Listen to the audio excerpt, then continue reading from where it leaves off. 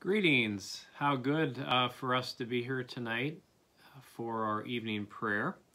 Uh, today, as you are full aware, is Thursday, February 18th, 2021. Um, I am thinking for next week, which we will be in in full-fledged uh, season of Lent uh, after the first Sunday in Lent, um, that I may be looking into a, a varied uh, morning and evening prayer. Um, mostly because it's a specific season. So I like to mix things up a little bit uh, to learn uh, through different resources and for you to kind of tune in to these uh, moments and to be not quite sure what uh, what will be happening. Um, so we will see. But but tonight, uh, what is before us is something that is familiar. And I trust that some of the consistent prayers that we have been sharing over a very long time uh, have become uh, much more familiar to you. You've maybe had some of them memorized, and that's a, a pretty wonderful thing to draw on at all different times. Um, we have our two candles in the cross, uh, which just feels just perfect and right. I know evening prayer in particular has been very meaningful to so many of you, and uh, you're able to, to watch it when it best fits your schedule, perhaps before bed or a little bit after dinner. Uh, I wanted to point out uh, to you in our uh, second lesson today from First John. This is not the Gospel of John, but the letter of John. Um, maybe not as familiar to some of you, but I did want to uh, raise uh, raise up in verse eight, where I'm going to be reading in verse nine. I'm going to read these two sentences. If we say we have no sin, we deceive ourselves, and the truth is not in us. If we confess our sins, he who is faithful and just will forgive us our sins and cleanse us from all unrighteousness. Now, that should be extremely familiar to all of us, as that is a part of our worship service on Sunday mornings. Um, and uh, it is during the confession and forgiveness. And, um, you know, it's just always nice to know where parts of our liturgy that they are scriptural, that they're coming from uh, biblical passages. And so now, if you did not know that before, uh, our confession and forgiveness, when we're using the standard rite, comes from 1 John um, chapter 1, verses 8 through 9. So I just wanted to raise that off. I find uh, this time is a way to not just be spiritually filled up, but spiritually filled up by learning and by growing, being educated about what it is that we're doing and why we're doing it. And that's always been very special to me. Um, I think those are all the announcements uh, that we have. Um, but thank you again for participating in our evening prayer. And thank you for the faithfulness to this ministry. We begin our prayer.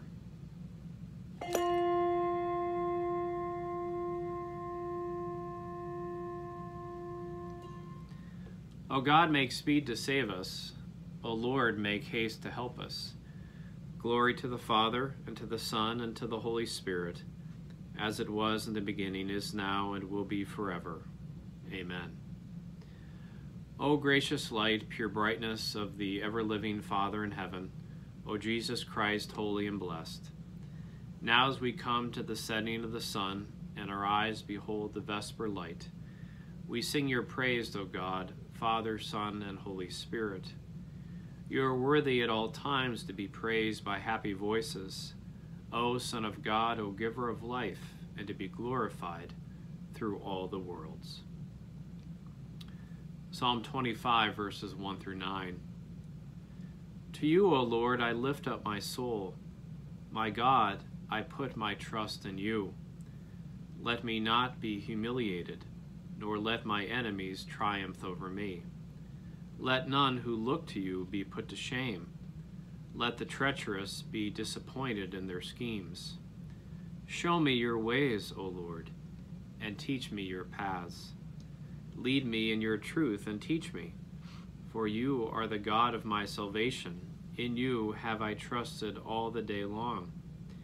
Remember, O Lord, your compassion and love for they are from everlasting. Remember not the sins of my youth and my transgressions. Remember me according to your love, and for the sake of your goodness, O Lord. Gracious and upright is the Lord. Therefore, he teaches sinners in his way. He guides the humble in doing right and teaches his way to the lowly. All the paths of the Lord are love and faithfulness to those who keep his covenant and his testimonies. Glory to the Father, and to the Son, and to the Holy Spirit, as it was in the beginning, is now, and will be forever. Amen. Our first reading tonight comes from Daniel chapter 9, verses 1 through 14. In the first year of Darius, son of Ahasuerus, by birth of Mede, who became king over the realm of the Chaldeans. In the first year of his reign, I, Daniel, perceived in the books the number of years that, according to the word of the Lord to the prophet Jeremiah, must be fulfilled for the devastation of Jerusalem, namely seventy years. Then I turned to the Lord God to seek an answer by prayer and supplication with fasting and sackcloth and ashes. I prayed to the Lord my God and made confession, saying, Ah, Lord, great and awesome God, keeping covenant and steadfast love with those who love you and keep your commandments. We have sinned and done wrong, acted wickedly and rebelled turning aside from your commandments and ordinances. We have not listened to your servants, the prophets, who spoke in your name to our kings, our princes, and our ancestors, and to all the people of the land. Righteousness is on your side, O Lord, but open shame. As at this day falls on us, the people of Judah, the inhabitants of Jerusalem, and all Israel those who are near and those who are far away, in all the lands to which you have driven them, because of the treachery that they have committed against you. Open shame, O Lord, falls on us, our kings, our officials, and our ancestors, because we have sinned against you. To the Lord our God belong mercy and forgiveness, for we have rebelled against him and have not obeyed the voice of the Lord our God by following his laws, which he set before us by his servants, the prophets. All Israel has transgressed your law and turned aside, refusing to obey your voice. So the curse and the oath written in the law of Moses, the servant of God, has been poured out upon us, because we have sinned against you. He has confirmed his words which he spoke against us and against our rulers by bringing upon us a calamity so great that what has been done against Jerusalem has never before been done under the whole heaven. Just as it is written in the law of Moses, all this calamity has come upon us. We did not entreat the favor of the Lord our God, turning from our iniquities and reflecting on his fidelity. So the Lord kept watch over this calamity until he brought it upon us. Indeed, the Lord our God is right in all that he has done, for we have disobeyed his voice. The word of the Lord. Thanks be to God. We read now in unison the third song of Isaiah from Isaiah chapter 60. Arise, shine, for your light has come, and the glory of the Lord has dawned upon you. For behold, darkness covers the land, deep gloom enshrouds the peoples. But over you the Lord will rise, and his glory will appear upon you. Nations will stream to your light, and kings to the brightness of your dawning. Your gates will always be open. By day or night they will never be shut. They will call you the city of the Lord, the Zion of the Holy One of Israel. Violence will no more be heard in your land, ruin or destruction within your borders. You will call your walls salvation, and all your portals praise. The sun will no more be your light by day. By night you will not need the brightness of the moon. The Lord will be your everlasting light, and your God will be your glory. Glory to the Father, and to the Son, and to the Holy Spirit, as it was in the beginning, is now, and will be forever. Amen. So our second lesson this evening comes from 1 John chapter 1 verses 3 through 10. We declare to you what we have seen and heard so that you also may have fellowship with us. And truly our fellowship is with the Father and with his son Jesus Christ. We are writing these things so that our joy may be complete. This is the message we have heard from him and proclaimed to you that God is light, and in him there is no darkness at all. If we say that we have fellowship with him while we are walking in darkness, we lie and do not do what is true. But if we walk in the light, as he himself is in the light, we have fellowship with one another, and the blood of Jesus, his Son, cleanses us from all sin. If we say that we have no sin, we deceive ourselves, and the truth is not in us. If we confess our sins, he who is faithful and just will forgive us our sins and cleanse us from all unrighteousness. If we say that we have not sinned, we make him a liar, and his word is not in us. The word of the Lord. Thanks be to God.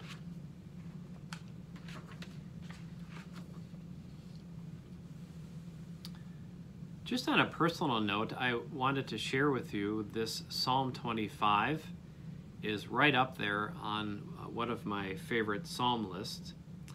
And I think it's perhaps one of my favorites because, much like Psalm 139, it is one of those very personal psalms. Psalm 25 is certainly one of those psalms that the person who spoke it is fully aware of their brokenness and uh, also in that awareness of brokenness is then made aware of the need for the Lord's deep grace. This psalm is so intimate and, and personal, and I ask you to, to reread it this evening. This voice, this first person singular addressing God, and, and woven through this psalm are these wonderful statements, these themes, this total surrender to God's will and also three imperatives that are being addressed to God. The second, the first imperative, do not let me be put to shame. The second, show, teach, and lead me in your paths. What, what a beautiful prayer that is. And third, and remember yourself and your character, and do not forget me and mine. So the psalmist uh, surrender tonight, which it truly is a psalm of surrender is rendered really most beautifully in this very opening first line To you, O Lord, I lift up my soul. Think of that beautiful prayer again this evening. To you, O Lord, I lift up my soul. That might be one of those Bible verses that you and I would definitely want to have memorized. To you, O Lord, I lift up my soul. As we share that over and over again, it is allowing us to be vulnerable to that need, that touching, profound sense of, of being vulnerable to someone that is far greater and more powerful than I. This theme of surrender happens throughout a good part of the psalm, is repeated in verse 2. I put my trust in you. And again, as you follow through in verse 5, notice, in you I have trusted all the day long. The very first imperative, and please note that they are imperatives, these are not gentle requests, but there is an, an exclamation point at the end. Please make these things happen. The very first one, let me not be put to shame, sets the tones for verses 2 through 3 and reveals this sliver of human fear and doubt that restrains perhaps the psalmist's trust, which all of us have been through, a people of faith we still have those moments when we begin to doubt that these promises are true. But then we have this testimony of one who is strong in faith that says, Yes, you are God. Yes, I trust you. I am sure as I can be that your ways are right. And yet then comes, but please, please don't disappoint me. Please let me be right about you. And here, I think, is when the psalmist tonight comes face to face with all that is stake when you and I surrender ourselves completely in faith, even when that surrender is to the God who extends so much gracious mercy. The shadow side of trust is the yearning for that trust to be vindicated.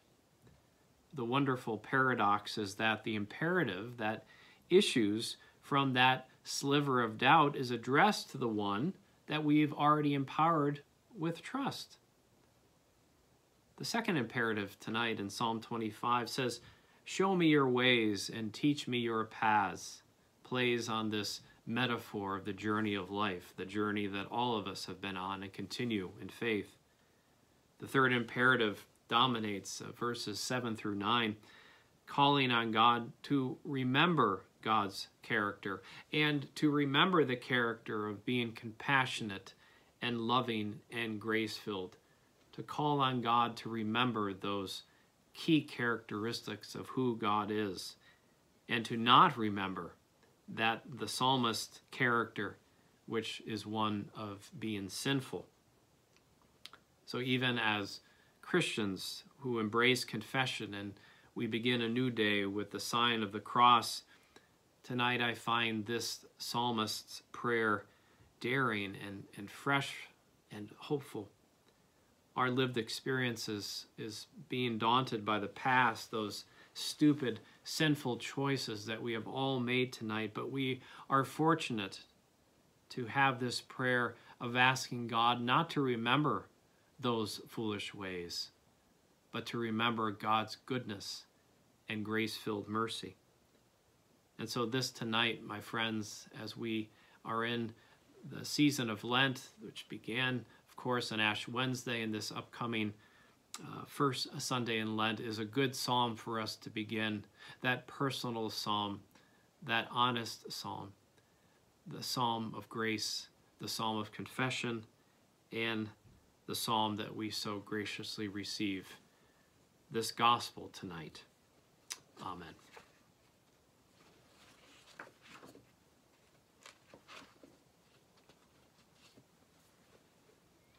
We're going to return again tonight to our beautiful Song of Mary. And this perhaps is one of those prayers now that we have somewhat memorized. So let us continue to affirm this uh, Magnificat uh, by sharing the words of Mary. My soul proclaims the greatness of the Lord. My spirit rejoices in God my Savior, for he has looked with favor on his lowly servant. From this generation, from this day all generations will call me blessed. The Almighty has done great things for me, and holy is his name. He has mercy on those who fear him in every generation. He has shown the strength of his arm. He has scattered the proud in their conceit. He has cast down the mighty from their thrones and has lifted up the lowly. He has filled the hungry with good things, and the rich he has sent away empty. He has come to the help of his servant Israel, for he has remembered his promise of mercy, the promise he made to our fathers, to Abraham and his children forever. Glory to the Father, and to the Son, and to the Holy Spirit, as it was in the beginning, is now, and will be forever. Amen. The Lord be with you. Our Father in heaven, hallowed be your name. Your kingdom come your will be done on earth as in heaven. Give us today our daily bread. Forgive us our sins as we forgive those who sin against us. Save us from the time of trial and deliver us from evil. For the kingdom, the power, and the glory are yours now and forever. Amen. Show us your mercy, O Lord, and grant us your salvation. Clothe your ministers with righteousness. Let your people sing with joy. Give peace, O Lord, in all the world, for only in you can we live in safety. Lord, keep this nation under your care, and guide us in the way of justice and truth. Let your way be known upon earth, your saving health among all nations. Let not the needy, O Lord, be forgotten, nor the hope of the poor be taken away. Create in us clean hearts, O God, and sustain us by your Holy Spirit. As we prepare for this uh, first Sunday in Lent, our prayer of the day affirms the gospel lesson from Mark this upcoming Sunday. Almighty God, whose blessed Son was led by the Spirit to be tempted by Satan, come quickly to help us who are assaulted by many temptations. And as you know the weakness of each of us, let each one find you mighty to save. Through Jesus Christ, your Son, our Lord, who lives and reigns with you in the Holy Spirit, one God, now and forever. Amen. Lord Jesus, stay with us, for evening is at hand and the day is past. Be our companion in the way, kindle our hearts, and awaken hope, that we may know you as you are revealed in Scripture in the breaking of the bread. Grant this for the sake of your love. Amen. We now offer our own intercessions, those words of gratitude and those words of need.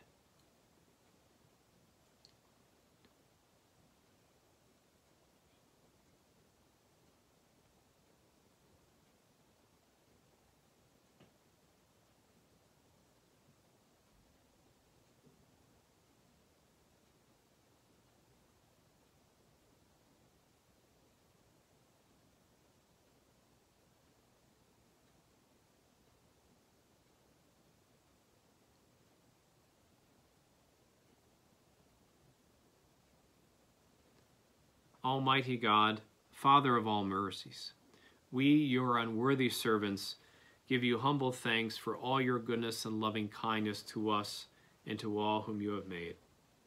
We bless you for our creation, our preservation, and all the blessings of this life, but above all for your immeasurable love and the redemption of the world by our Lord Jesus Christ, for the means of grace and for the hope of glory. And we pray, give us such an awareness of your mercies, that with truly thankful hearts we may show forth your praise, not only with our lips, but in our lives, by giving up ourselves to your service, and by walking before you in holiness and righteousness all our days.